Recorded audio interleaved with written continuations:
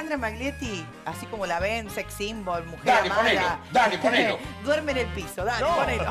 Dale, po- Impacto. Teleshow, la insólita confesión de Alejandra Maglietti sobre la convivencia con Jonás Gutiérrez. Ciudad.com. Jonás Gutiérrez confesó que hizo dormir en el suelo a Ale Maglietti para que sus perros descansen en su cama.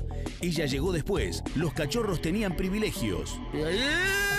La Nación. Jonás Gutiérrez mandó a Alejandra Maglietti a dormir en el suelo para estar con sus perros. Acá Ale nos contó Sí. que en España Chibuli, chibuli, chibuli.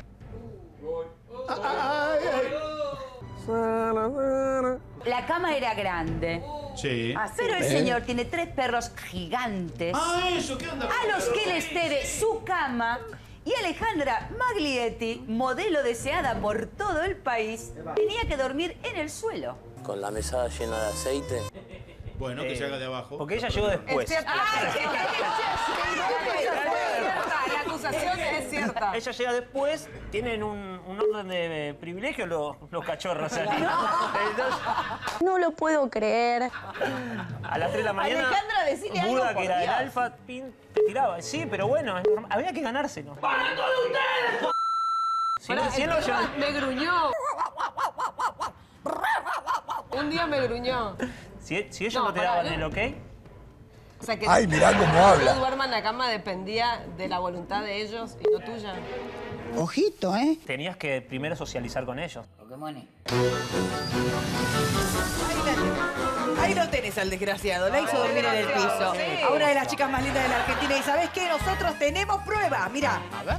Hoy lunes 9 de la mañana, acá descansando, con Algo mis más feo, ¿no hay? cachorros en la cama y alguien Maglietti durmiendo en el piso. Ahora se las voy a mostrar. No, no, no. La tenemos, Alejandro durmiendo en el piso. Esos pisitos son míos, ¿no? La casita. Y ahora lo voy a despertar un poquito. Van a ver con el fastidio que se despierta. Hola gordita. Dale, despertá. No. Dale. No seas vaga, ¿querés? Gorda. Arriba, dale. Dale, vamos. Vamos a desayunar. ¡Diego! Bueno, como ven, es de lo más vago que hay. Eh, bueno, les mando un beso a todos, lo voy a seguir despertando. Dale un besito, que quede.